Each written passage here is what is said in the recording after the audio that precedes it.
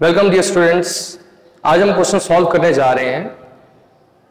Calculate the electric field at a point जो कि given है x y and z root two root seven and zero due to point charge 0.009 microcoulomb हमने electric field find करनी है बच्चों. इनके given points पे जो कि डायग्राम में आपको दिखाए गए हैं root two root seven and zero जबकि पॉइंट चार्ज जो हमारे पास पड़ा हुआ है ओरिजिन पे दैट इज़ 0.009 माइक्रोकूलम अब हमें यहाँ दिखाई दे रहा है स्ट्रिक में, हम डायरेक्टली फॉर्मूला यूज़ नहीं कर सकते, क्योंकि इसने पॉइंट्स का ज़िक्र किया है।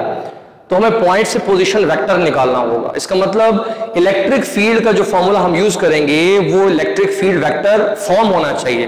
वेक्टर फॉर्म एक्सप्रेशन को हम यूज़ करेंगे।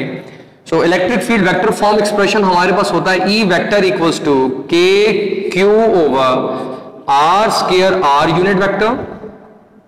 Students हमारे पास जो आर यूनिट वेक्टर है ना, ये तो तब यूज़ होता है जब हमारे पास सिंगल को पोजीशन हो सिंगल पॉइंट हो। बट हमें यहाँ पर पोजीशन वेक्टर का यूज़ करना है, जिसके अंदर हमारे पास एक्स वाई जी बाकी यूनिट वेक्टर्स भी शामिल होंगे। तो हम लिख सकते हैं इसको कन्वर्ट कर सकते हैं। Unit vector equals to the position vector over magnitude अगर यहाँ हम इस फॉर्मूला को इससे रिप्लेस कर दें तो इसे लिखा जा सकता है k q position vector over r cube हम इस फॉर्मूला को यूज़ करेंगे to find the electric field at the given points but सबसे पहले तो अगर हम यहाँ पर ऑब्ज़र्व करें तो आर वेक्टर निकाला जा सकता है किस तरह से? अगर इन वेक्टर फॉर्म में पॉइंट्स को कन्वर्ट कर दें तो root two i unit vector root seven j unit vector और क्योंकि z हमारे पास जो वो ज़ीरो है, इसलिए उसको वेक्टर एक्सप्रेशन में लिखने की ज़रूरत नहीं होती। सेकेंडली अगर हम देखें तो यहाँ से मैग्नीट्यूड भी निकाला जा सकता है r का। R equals to two plus seven equals to nine और नाइन का अगर रूट ले लिया जाए तो ये बन जाता है थ्री सिमिलरली अगर हम चार्ज इसने गिवन किया है, इसको अगर हम सिंप्लीफाई कर लें तो हम इस चार्ज को कुछ ऐसा लिख सकते हैं।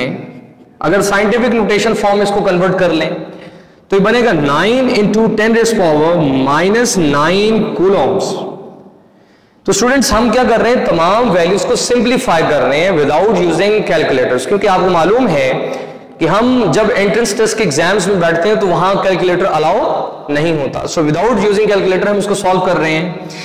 वैल्यूज़ को पुट करते हैं। हमारे पास के की वैल्यू है nine into ten is power plus nine Q की वैल्यू हमारे पास है nine into ten is power minus nine जैसे कि हमने यहाँ पर इसको सिंप्लीफाई किया।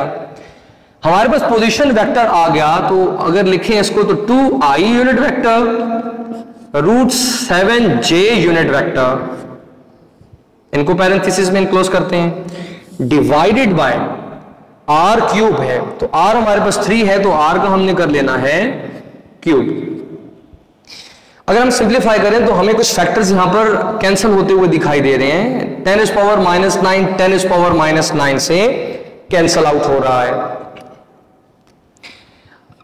अच्छा अगर हम बच्चों यहाँ पर इसको अगर मल्टीप्लाई कर दें nine into nine eighty one two i unit vector seven j unit vector divided by का क्यूब अगर हम ओपन कर दें तो ये बनेगा ट्वेंटी सेवन आप इनकी कैंसिलेशन कर दें तो ये हमारे पास बन जाएगा। थ्री के टेबल से कटिंग हो जाती है। सो फाइनली हम अपना यहाँ आंसर लिख सकते हैं। Three root two i unit vector plus three root seven j unit vector so that is a required answer जो हमने विदाउट कैलकुलेटर सॉल्व कर लिया है।